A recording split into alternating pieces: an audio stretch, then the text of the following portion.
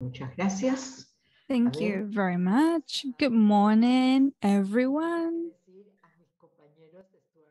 And uh, all, all women here and also the two men here accompanying us, my, com my comrades, uh, Carlos and Stuardo.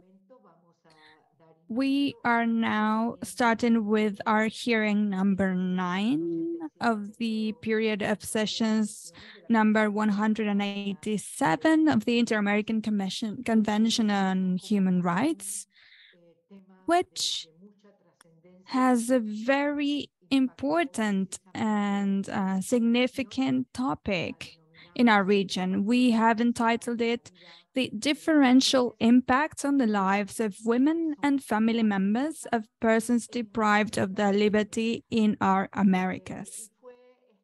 This hearing has been requested by the International Network of Women Next of Kin of Persons Deprived of their Liberty. The presence of all of you here today is the the reflection of the importance of this topic. My name is Esmeralda Arosemena de Troitiño, first Vice President of the Inter-American Commission on Human Rights. I'm also uh, a rapporteur for the rights of children and adolescents and of the rights of indigenous peoples. Alongside me in this hearing, we have Commissioner Julissa Mantilla, Rapporteur for the Rights of Women, Commissioner Stuardo Ralón, Rapporteur for Persons Deprived of their Liberty, and also country rapporteurs of different countries where people deprived of their liberty have been very significant. Also, we have Commissioner Carlos Bernal, who is rapporteur for the rights of persons with disabilities. Also with me today, we have Executive Secretary Tania Reneaum. Thank you for being here with us. And Special Rapporteur Soledad Garcia Munoz. And of course, our technical staff, our technical team, who is always ready and available for doing this work, including our photographers and our uh, audiovisual team who are allowing the whole um, public to be following this hearing because the hearing is followed by many people uh, through online through this all these technical and technological uh, tools that allow us to communicate nowadays. So, as you all very well know, since this is a regional hearing, we have the participation of civil society organizations, which during the hearing, we'll have 25 minutes. Then we will have 25 minutes for the commission and then we will grant you other minutes so that you can have some final comments. All of us know the purpose of the of this hearing, but I do want to make an emphasis on the situation of the differential impact on women who are deprived of their liberty, but also for the family members, and also how this is very closely related with the criminal policy of our countries and the conditions of detention in the prisons of our country have. So this is a reason why being able to listen from you is very important. I truly acknowledge your work, your commitment of being there in the field uh, where, the commission, the Inter-American Commission needs to have that information uh, submitted in a more direct way. And, and that is thanks to the commitment of all of you. So without further ado, I will give the floor now to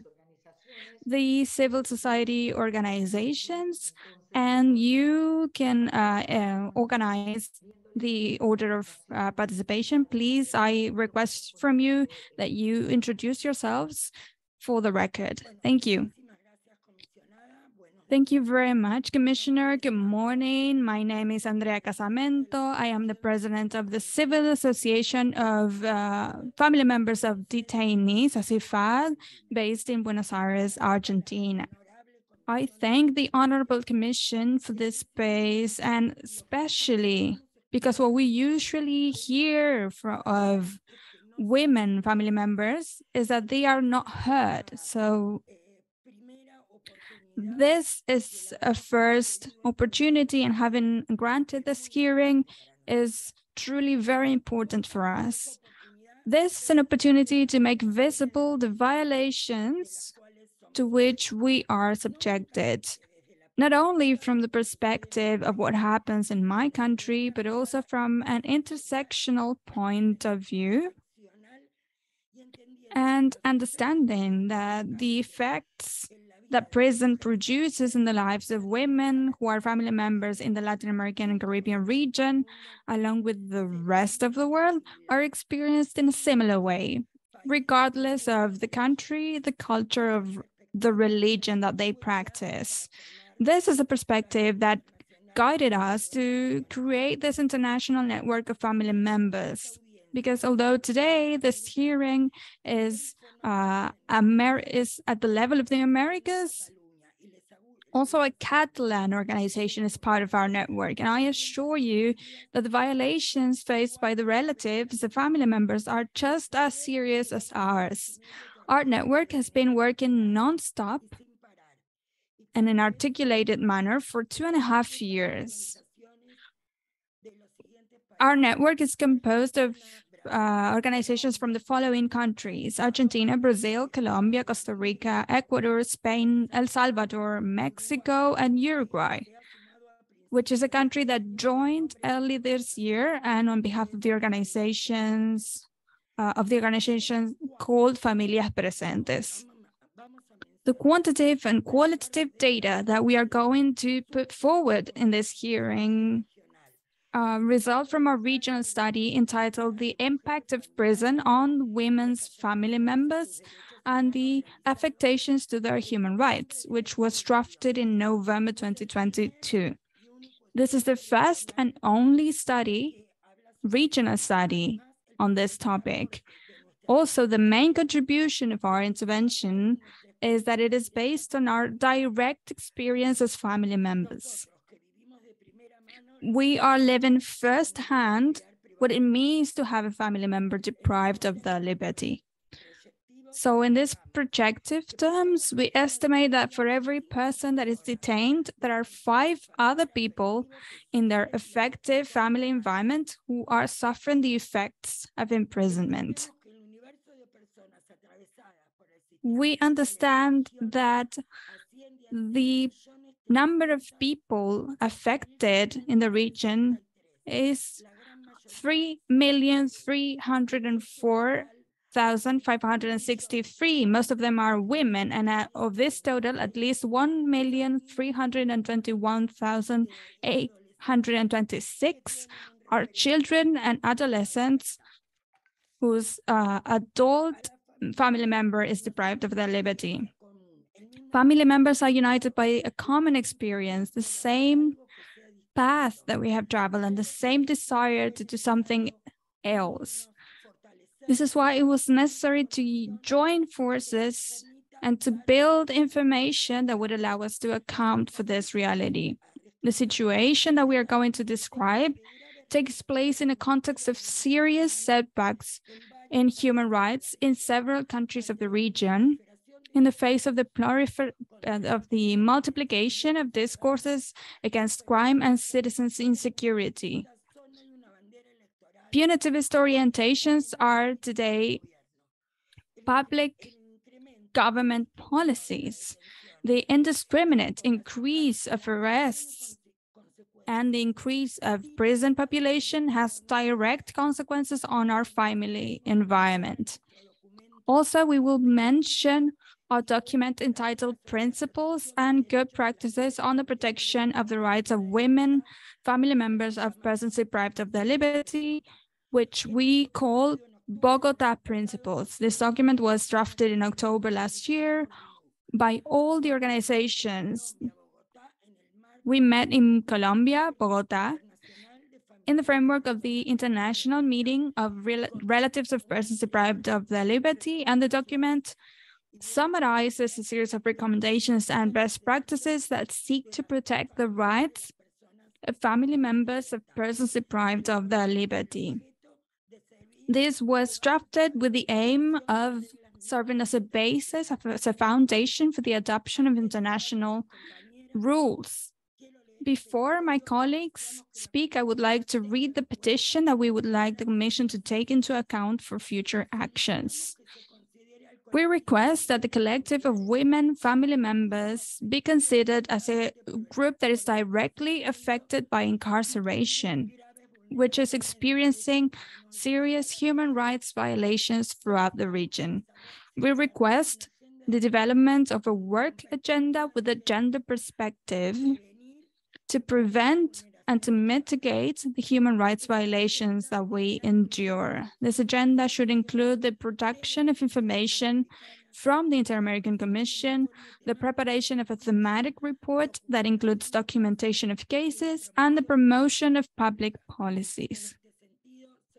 In this regard, we also request that the member states of the OAS are required to produce information on the issue, to have working groups with the Inter-American Commission to generate policies to alleviate the impact of prison on the lives of uh, women family members.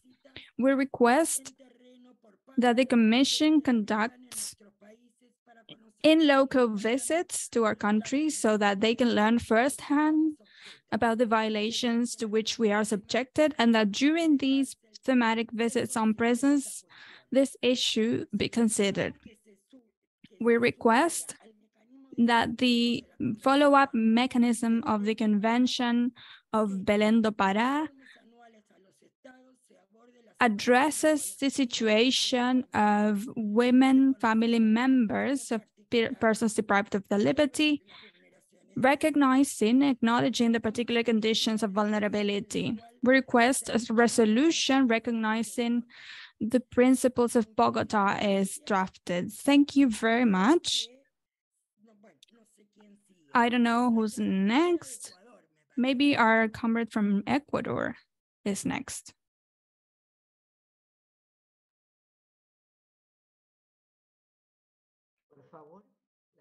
Yes, please go ahead.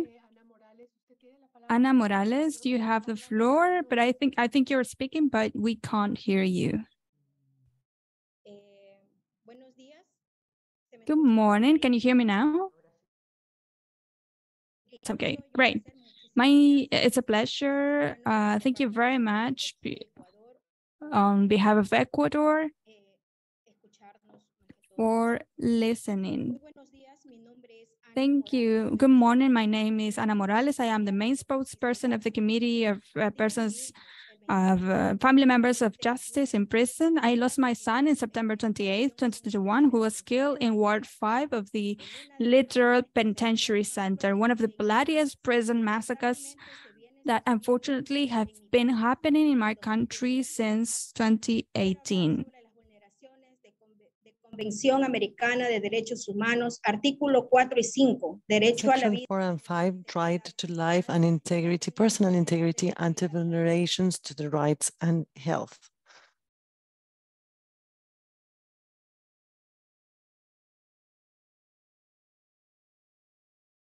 Eh, señora Ana Morales, le hemos dejado de Madam. Ana Morales, we cannot hear you anymore. Your image is frozen. ¿Puede intentar de nuevo? Sí, por favor. Can you please repeat the last sentence? Ana Morales speaking, can you hear me? Tanya ¿Me Roman speaking? Yes. Yes, please go ahead. Ana Morales speaking. Shall I start over? Okay. So I'd like to talk to you about the vulnerations of the American Convention of Human Rights, sections four and five, rights to integ personal integrity and right to life, and vulnerations to the rights of health. Since 2018 up to 2022, the bodies of 591 persons deprived of liberty were removed from the prisons of Ecuador and 65% were murdered in massacres. According to the records of the Permanent Committee of Human Rights, sustained on formal information published by the press, the people, the bodies of other people were found uh, mostly due to hangings.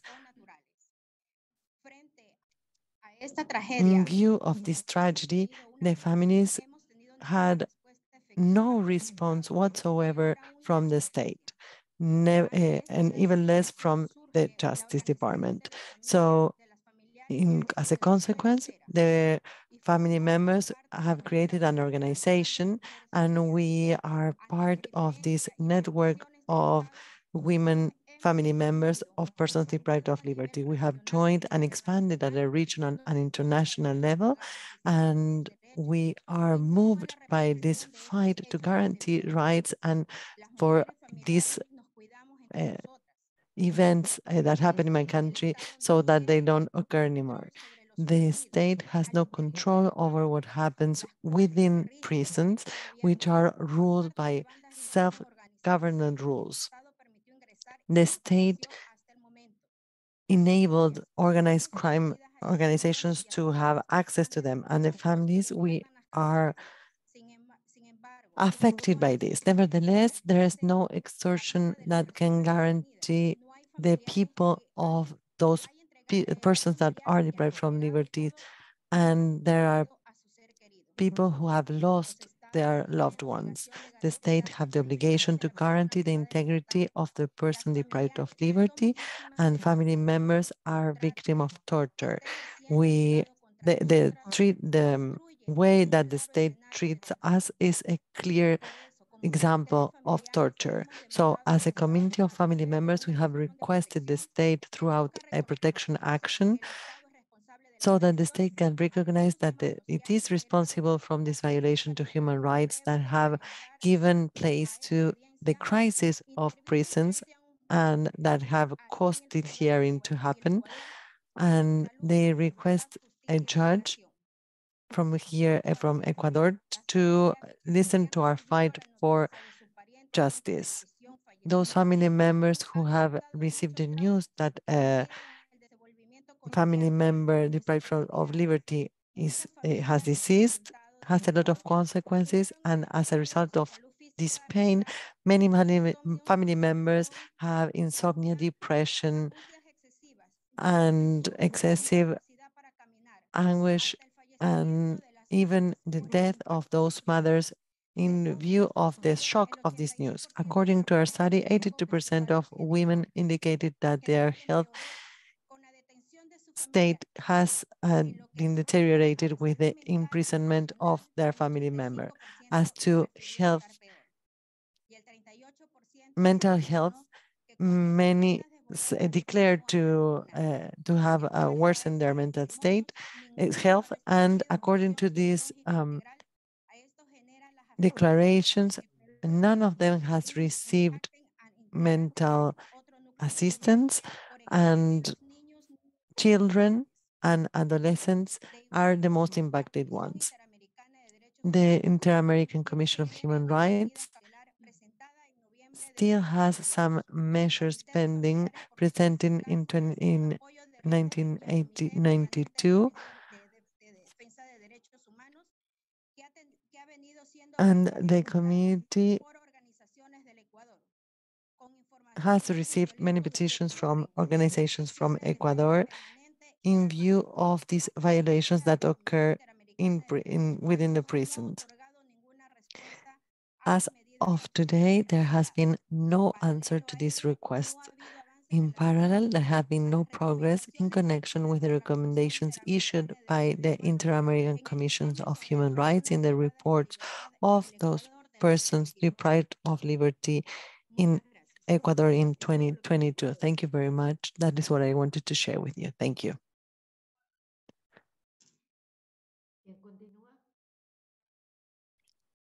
Next speaker, please. Dear commissioners, thank you very much for this space. My name is Lucia Alvarado. I'm a representative of the Integral Assistance Center of Persons Deprived of Liberty in Mexico. In this case, I would like to talk to you about the economic impact and the consequences of having someone that is uh, deprived of liberty. This economic impact relies on women relative because it is in our roles that we visit our loved ones in prison. Our economic situation worsens because we have extraordinary costs in order to compensate for those uh, loved ones that are in prison. We provide care and that is hardly recognized as work. We showed in our study that in view of the incarceration of a family member, 90% eh, eh, had to take upon another job and 25% had to uh, take another extra hours. In this study, it is evidence that the prisons in the region do not uh, comply with their obligations vis-a-vis -vis persons deprived of liberties. And we, in, in our visits, we have to provide basic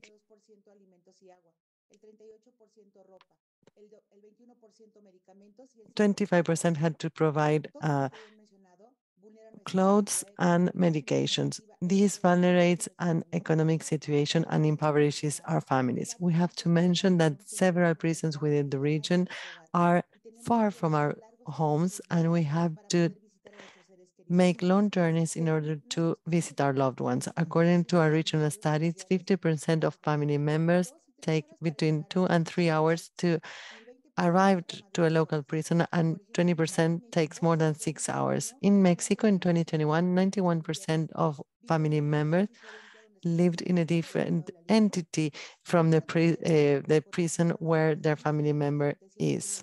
Some are more than 550 kilometers away. So for each visit, family members spend between 60 and $600. According to the survey carried out in Mexico, the women that visit prisons take product, basic products. 67% took uh, pri uh, private hygiene, 14% medicines, and 13% material for work. Just to provide some examples. In our region, the authorities act against our dignity because the, uh, these practices are carried out in, uh, against women and children and adolescents. In our prisons, there are scanners. Nevertheless, the authorities in prisons do searches that are intrusive and that violate our dignity. In the region, 85% of women surveyed mentioned that they were mistreated by the staff of the, of the prison. These problems are issued are stated in the Bogota principles, mainly on principle three. Principle six as well, and principle nine, referring to the rights of children and adolescents. The minimum rights of protection recognize the effects that the penalties of persons deprived of liberty have in their family members. That is why we request to this honorable commission to dictate a resolution in which they adopt the principles and good practices on the protection on family members, women family members of persons deprived of liberty as an instrument that provides for standards and duties of protections for the family members of persons deprived of liberty. Thank you very much. Good morning. Good morning. Thank you for this space and the participation. I am Wendy Morales. I'm the director of the association Azul Originario. I'm a survivor of a, the, an illegal detention at El Salvador and a defender of human rights. Since March 27, 2022,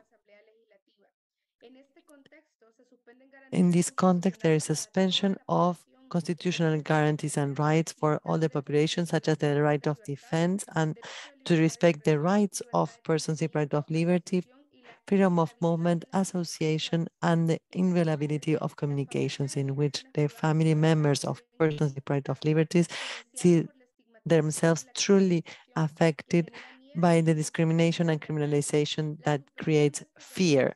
The suspension of these basic rights, such as the right to have a lawyer in view of a, a, uh, a detention by the police force and to be faced to a judge 72 hours after the capture and the lack of correspondence without the, the order of a judge is very, very serious and very complex for family members. And we had to survive to different situations such as difficulties in health, socio, socio-economic and political difficulties.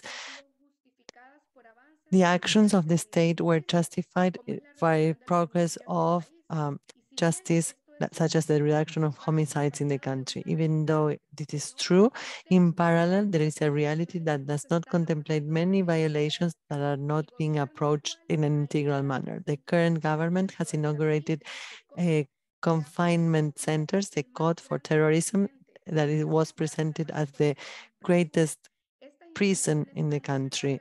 These facilities have doubled the incarceration facilities capacities in the country, and they go over 60,000 people. This made El Salvador the highest country with the highest incarceration rate in the world.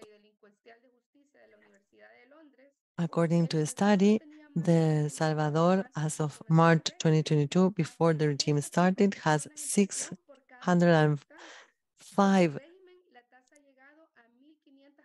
persons imprisoned, and now it has doubled.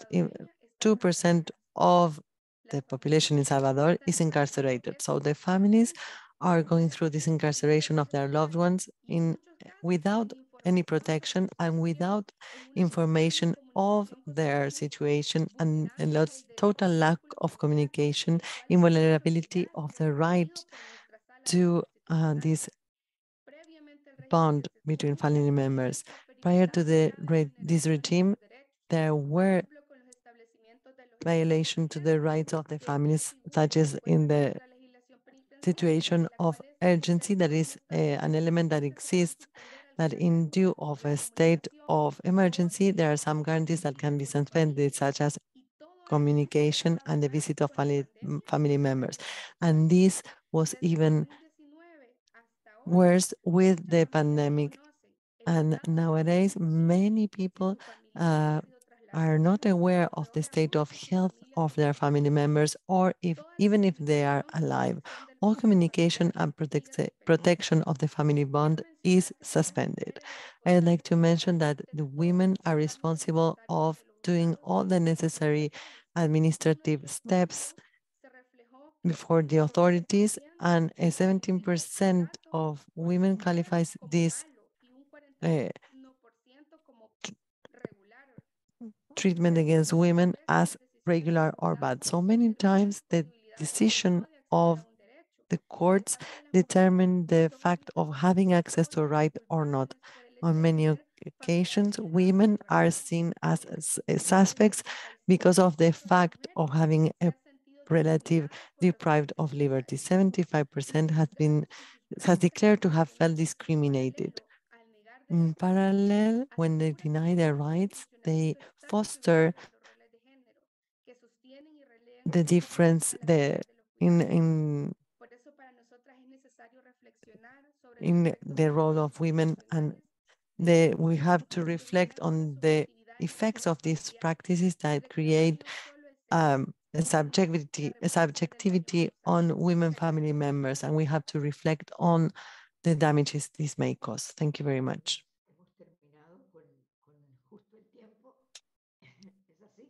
Is it is it done? We are just on time. Is that so? Very well. Mm, Thank you very much for all this information. This is a situation that the Commission has, to which the Commission has a strong uh, commitment and a close monitoring mechanism to address this in a comprehensive way. Now I will give the floor first to Commissioner Julissa Mantilla in her capacity as rapporteur for the rights of women. And I will give the floor first to her precisely for the the approach that has given by has been given by the civil society organizations where they uh, focus on the significance of the women family members of persons deprived of their liberty and, and women who are deprived of their liberty as well. Thank you very much, Madam Chair of this uh, hearing. Uh, greetings to my colleagues and a very, very cordial and very respectful greetings to each of the women are at this hearing.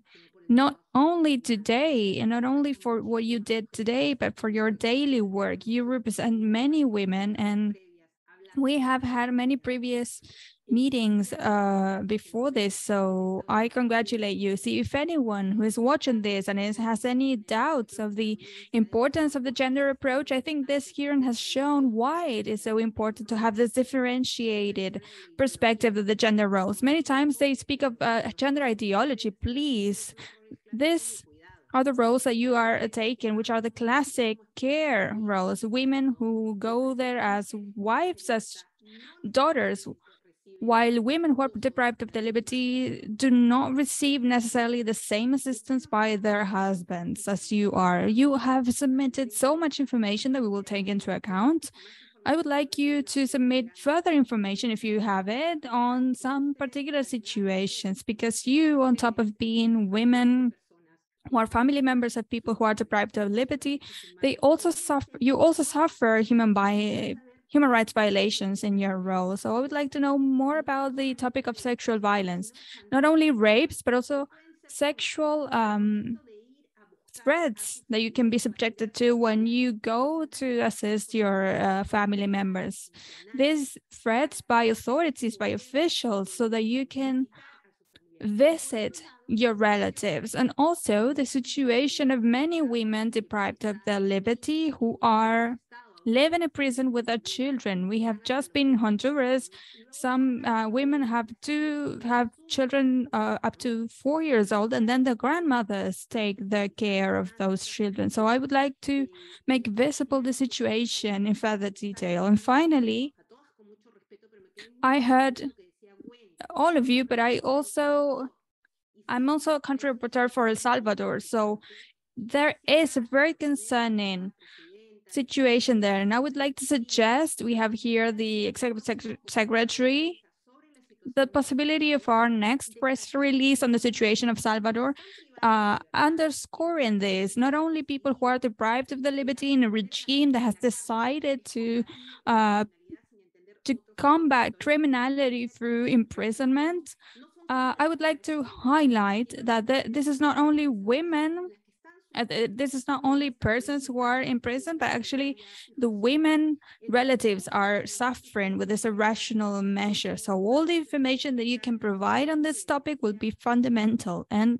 especially, as I said, the proposals that you have brought to this hearing are important to, to request from the states to, to incorporate the voices of women family members in their policies. Let me conclude by truly thanking, deeply thanking you. Next week, we'll be in Washington and we'll be presenting this report on women deprived of their liberty. This is a report, as you have said at the beginning, in which we also have to highlight family members and what it means in terms of sexual and reproductive health for those girls, for those mothers, and for those grandmothers. Thank you very much, Madam Chair. Thank you. I give the floor to Commissioner Stuardo Ralón, Rapporteur for People Deprived of their Liberty. Thank you very much, Commissioner. I would like to start by first acknowledging, of course, the enormous work conducted, conducted and do, that you have been conducting in such an adverse over uh, a landscape sorry uh, for, for for people deprived of their liberty. I have had to visit during crisis moments many of the most complex prisons in history. We saw a, a very harsh testimony of a person who lost his uh, her child in such a bloody prison massacre. So on top of acknowledging this, I would like to point out that the work that you do makes visible uh, vulnerabilities and a differential uh, impact by prison management models that have failed in the region and that are creating uh, vulnerability vulnerations of different magnitudes. For example, these are some uh, issues that are shared by many countries. For example, the abuse of preventive imprisonment.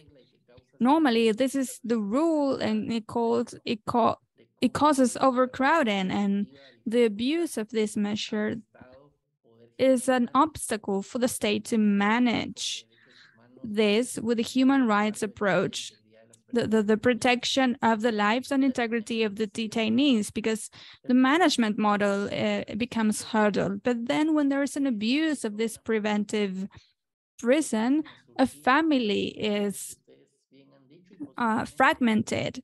And these things that you have mentioned start to happen.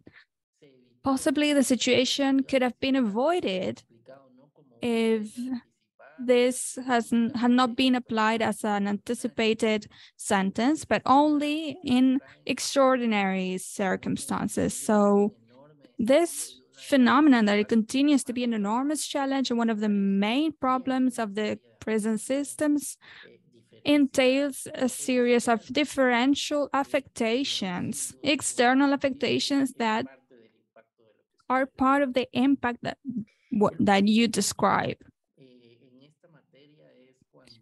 On the other hand, when there is a penitentiary survey carried out, we have the information of who are the people who were imprisoned. So the analysis of this information must be uh, used to create prevention public policies. So due diligence in doing so can also prevent these differential impacts from happening because if this were to exist, the this could avoid having people uh, infringing the law because there are diverse opportunities available for them. So that would prevent these differential affections. And also the rehabilitation or reincorporation into society because when there is no such an approach, the problem or the differential impact uh, that is affecting women family members. I mean, you gave this point of data for each detainee, at least there are five other people who are uh, being affected. This uh, affects speak of the fact that people cannot be reincorporated, they cannot find a job once again. And that creates over time, over the whole detention time and, and afterwards, this affectation. So I think it's very important to have your views here because you point to different differential effects and different impacts, and that helps us to analyze each case in further detail. Also, I request from you, as we do not have enough time in these sort of hearings, if you could submit via writing the information that you have at hand. The statistics would be very useful. With re regards to the document of principles of good practices, the Bogota principles, it would be very useful to have it and to be able to analyze that document. The rapporteurship of people deprived of their liberty is one of the rapporteurships that, given the magnitude of the problem and the short um, resources that we have, what we can do is make visible and try to articulate through technical assistance any uh, activity with the state. So the the input that you bring here with the data, with experiences and testimonies help us to to conduct our work better. So big congratulations and thank you very much. Thank you, Commissioner. Commissioner Carlos Bernal, go ahead. Thank you very much, Madam Chair, for allowing me to intervene. I would also like to thank the people who have participated in this hearing for their courageous work and for making visible this problem. I think this is one of the human rights violations, structural human rights violations that are the most among the most serious in the continent. It is the only one that is not discriminated per country, right? As someone said at the beginning, when they referred to Catalonia, this is something that happens throughout the continent, uh, from the north of Canada uh, to the south of Argentina and also in the Caribbean. So I'd like to, to pose two specific questions as to not repeat some of the things that my colleagues have already said. First, I would like to know about the consultation process that led to these Bogota principles, whether you can share further details of these principles. I think that these principles are very are, are nice because these are so, sorts of standards, but they were the result of a consensus of civil society. Secondly, as in my capacity as rapporteur for people with disabilities, I would like to know if you have any information as regards people with disabilities that is disproportionate or special violations suffered by women who have disabilities or family members who have disabilities. Thank you very much. Thank you, Commissioner. Now I ask the Special Rapporteur for Economic, Social, Cultural, Environmental Rights, if she has any comments to make. Thank you, um, Madam Vice President and Chair of this hearing. Greetings to the Commission and all the colleagues in civil society organizations. Just a brief reflection this hearing uh, has to result in us thinking who are mostly in centers of deprivation of liberty and who are the people caring for them.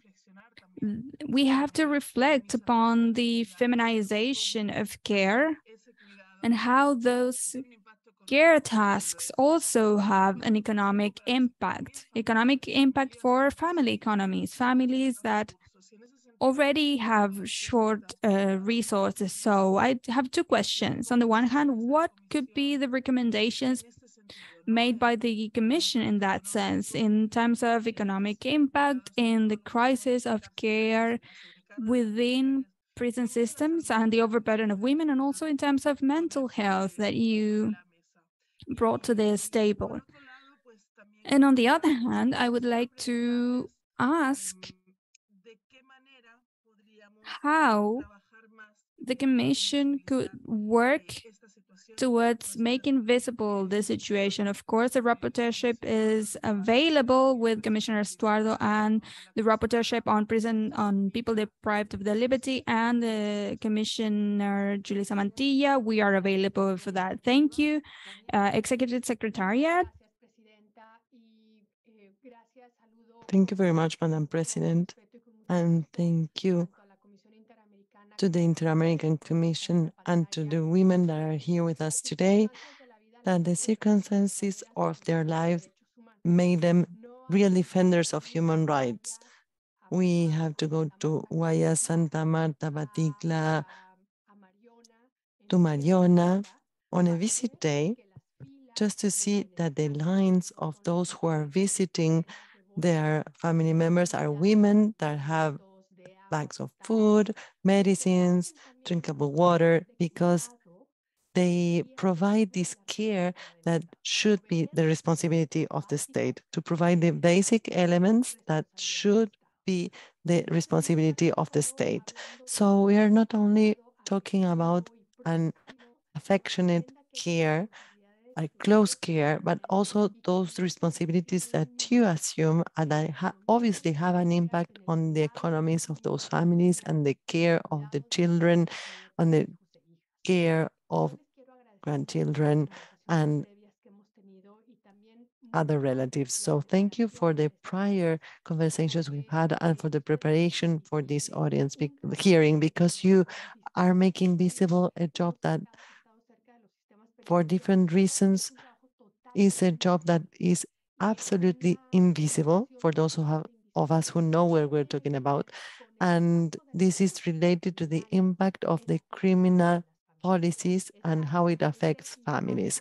So that impact that is related to the populist punitivism and how it affects women, men, children, older people that should have this care. So I know that you are going through these reflection processes as family members and in this dialogue that we're having today based on your experiences, I always think about Santa Marta, Graticla for men, Mariona for men, Guaya, men section, but also we should think about those women that are deprived of liberty and that do not have these strong bonds with the exterior world. So I'd like to know what you think about this regarding this uh, real abandonment of gender that women deprived of liberty have usually have and how do you work on this reflecting on this based on your experience regarding criminal policies. So I'd like to thank you once again very much for the preparation, for being here today to discuss this on this forum that is broadcasted to the whole region. And that thank you to go on fighting on this so that we can include this when we discuss these criminal policies. Thank you very much, Madam Chairman. Thank you. In order to conclude the intervention of the Commission, I echo the declarations of my colleagues because these are basics for the management within the Commission of this problem, the handling of this problem that, as you said, in, a, in an extraordinary manner,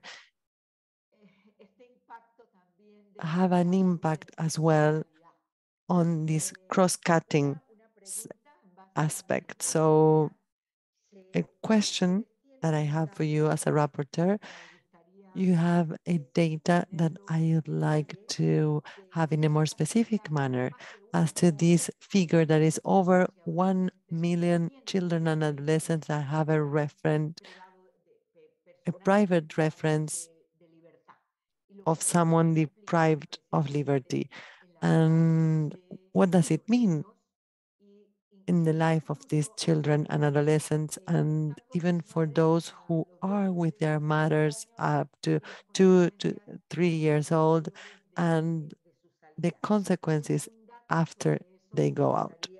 So I'd like to have some data on this.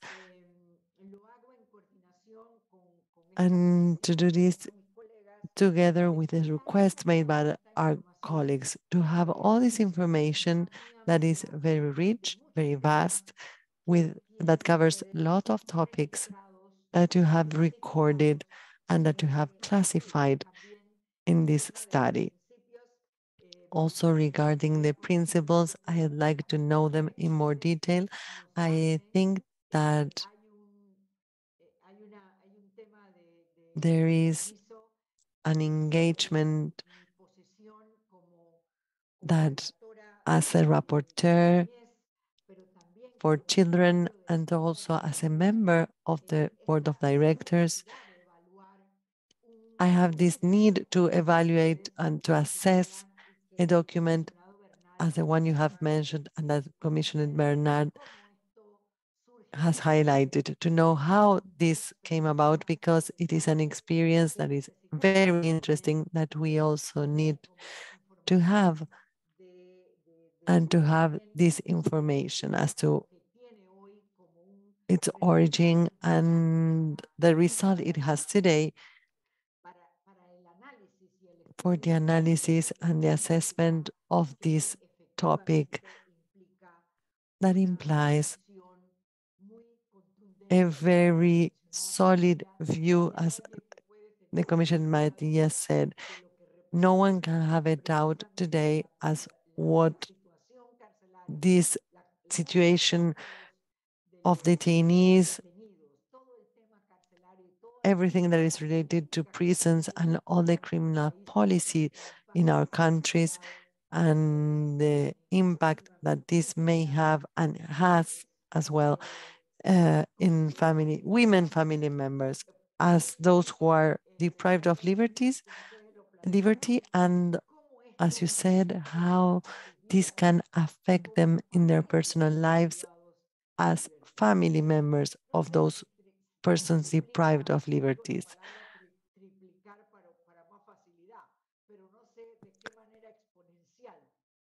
And this affects exponen exponentially and in a negative and disproportionate manner the lives of women family members. I also think that it's very important this petition that is made as the issuing of a decision. I think this is something that we should work in the assembly with all the information that you have submitted today And I know that you have discussed this in prior meetings, and I know that we can have a position in order to answer these requests and to assess these requests that you have submitted. When we identified, as a colleague said, this action against dignity, and there is an identification as to the approach and to the view of the victims themselves. This is an orientation and the principles to mention an example. So this is the responsibility that we have as a commission, as the Inter-American Commission on Human Rights, and our commitment to accompany the victims and the different rapporteur offices where this situation occurs. Soledad, I see that your hand is raised. I don't know if you had a comment. Yes, thank you. Thank you, Commissioner. I know that we have some minutes left, and I wanted to mention uh, if we could gather information, the Commission in 1996 had a case related to the vaginal inspections of women and girls. And in at that time in Argentina, it was closed amicably, but uh, you mentioned that there are some places in which these inspections are carried out in a cruel manner, inhuman manner, and I'd like to know if these practices still occur. I think this is important uh, for the Commission as well, to know if this is the case. Very well, so in this manner, we conclude the intervention of the Commission, and as stated in the distribution of time, we will give 22 minutes for final comments by our colleagues. that are here with us today, contributing with such valuable information. Thank you very much. Thank you. My name is Claudia Cardona. I belong to the Mujeres Libres in Colombia. To answer the question of uh, the com uh, commissioner, I will mention that the visit is a very important event to keep the bond with the detainee and the family members. But this event implies some controls and uh, searches that expose women to sexual violence and other types of violence. But in most cases, the entering of prisons depends on the mood and the will of the staff and to deliver something in exchange, money or any other element that require in exchange. Women have to support, have to listen to comments uh, regarding their clothing, for instance, so we don't know how to behave. And mm, in some cases, women have been forced to remove their shoes, for instance, to enter barefoot or to remove some clothing or so since this is not uh, included in the rules of prisons today, it can be decided that with some clothing, it is possible to enter the prison and the next day it is no longer valuable. So women have the right to visit their family members deprived of liberty, respecting their dignity, because these are violences ex executed by public officers. The touching uh, in the searches when visiting family members, not only for women, but also this is carried out on their children. They suffer violences. They make them remove their clothing. Women that have to uh, show that they are under their period and that they're not entering with anything illegal. Children are taught that no stranger should touch them. And when they go to visit a family member in prison, they're touched as if it was the most common practice in order to visit their mothers or fathers. So we'd like to highlight that children and adolescents, children of women deprived of liberty are not only the ones that encounter them in prison, but they're also outside the facilities and many of them, even though they are with some family members as grandmothers or aunts or other family members, there are others that are under the care of other people and they have suffered violences, mental and sexual violences. Thank you very much.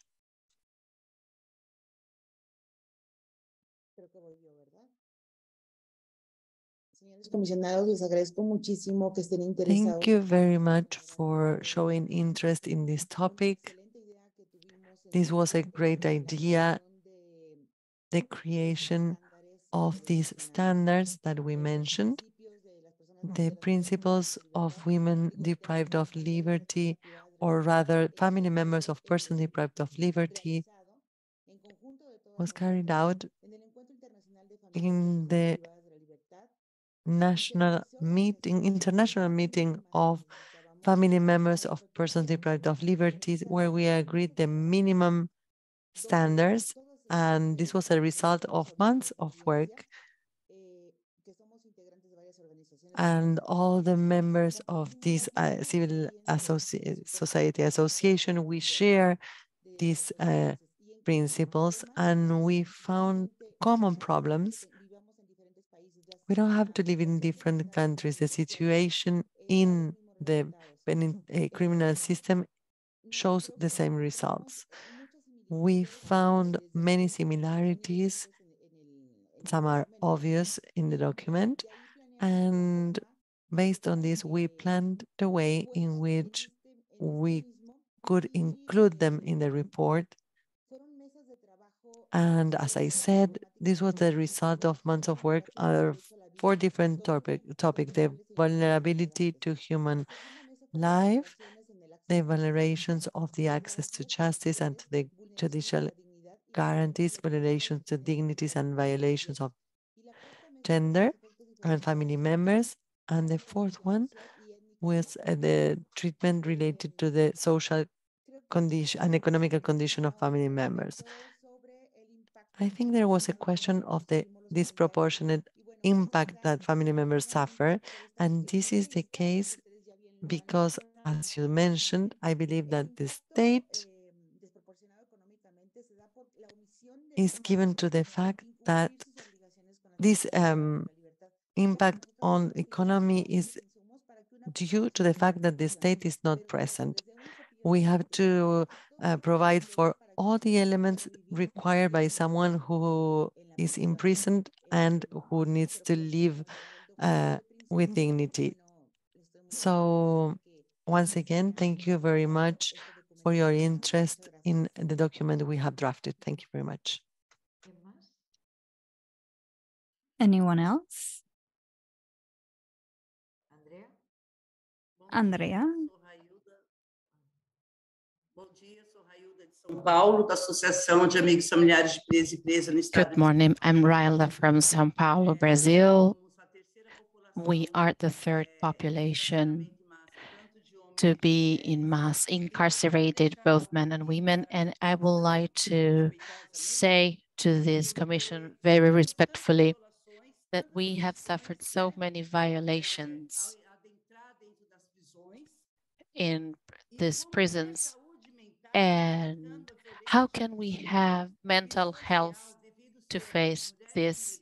Because we are poor, Black women from the periphery, and we are here asking, begging for our care, to take care of our families that are incarcerated and for people and these mothers that are incarcerated within this perverse system that just incarcerates, tortures people, and we need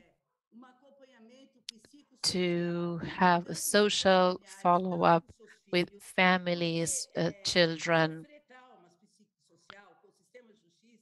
We, we need to work with the justice system. And we all have a story and we need to have a different view because the criminal system is asking for help to families and to people that are uh, imprisoned, not only in Brazil, but also in the whole continent. These people have been suffering several violations because they don't have accessibility to other uh, possibilities. Imprisoned people help others, uh, prisoners, and we are asking for help for our prisoners because the state does not warranty this. In Sao Paulo, we understand that if we have a series of questions and answers in order to imprison people every 18 hours. So the system is asking for help and families are also asking for help because the violence that we experience is terrible. It's constant. When a woman comes here or a woman goes to a hospital she stays in for example if she's uh, about to deliver her uh, baby she's there and then the doctor says, okay, you can go away without having a bath. That's violence. Uh, machism in prisons is everywhere. Women have visit days because they have their menstruation and we have the menstrual violation so that uh, we need to receive the absorbent pad. So we need to have an urgent view in the penitentiary system in Brazil, in Colombia, in the region. Thank you for your attention.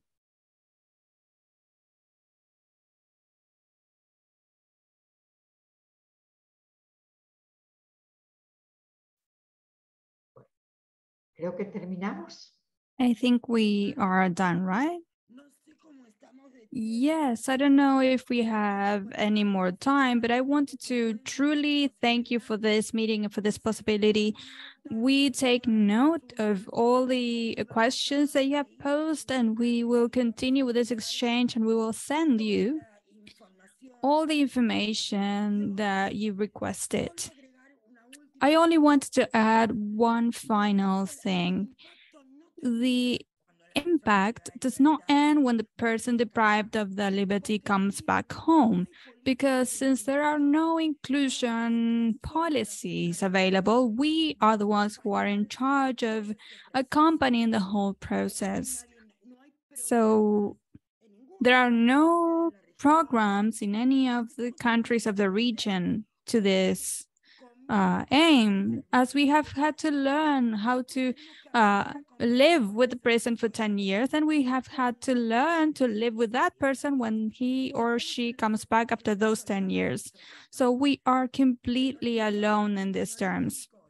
In the criminal reports, we are the ones who are assessed. We do not have anything to do with this. And we are demanded to, to we, we are requested to feed them, to provide them with a home, to provide them with contention. And even though, even so, if we, even if we should, uh, we can uh, provide them with a job when actually it is the state that should be in charge of all of this. So I think we don't have any more time, but we all took a note of this. We will send all of these details to you. And truly, we are very thankful for the questions and for the time that you have invested in us and for the, your commitment. We will be here for you as well. Thank you very much, Andrea. Thank you, all of you. Truly, um, when you hear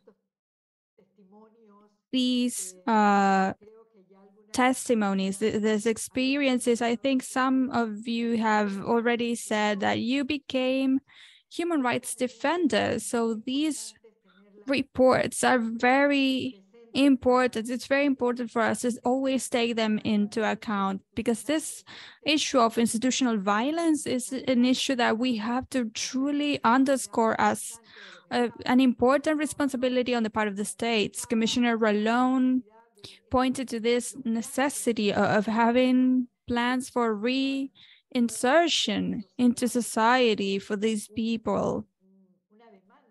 This is also a demand for the states because the states have to have this as a part of their criminal programs so that people can go back to their lives once they are released.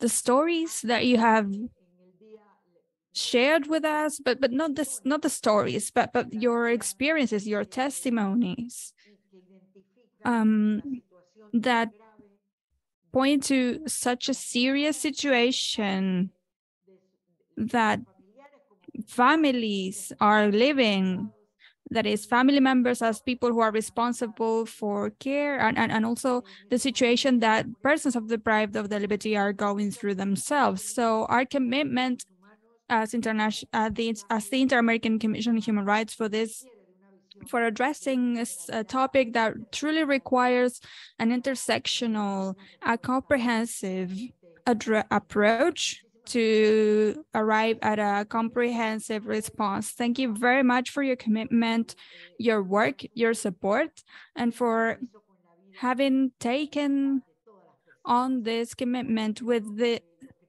aim of achieving the dignity of all persons because what has to unite us as human rights defenders is that recognition of the dignity of all human beings regardless of their, of their condition the important thing is the dignity of human beings. So thank you very much and have a great afternoon. And we will remain in contact. And we will remain in touch. Thank you. I'm, so, can I'm we, sorry. Can we take Perdón, a picture? Yes, por favor. Por favor. Yes, yes, yes. Please stay for a moment for a picture.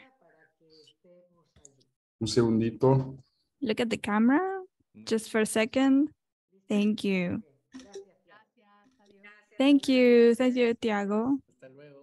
Goodbye. Have a good afternoon. Thank you.